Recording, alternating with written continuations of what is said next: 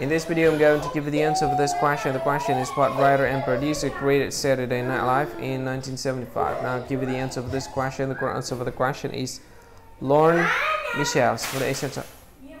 What is the answer for the question? Hi, thank you so much for watching this video. If you find this video is very useful, you can help this channel to grow by subscribing this channel. Please this subscribe button and don't forget to like this video. And if you find this video is not really good or you don't really like this video or you kind of feel that it's a little bit offensive or something like that, you can click this one, dislike button. You can do that anyway.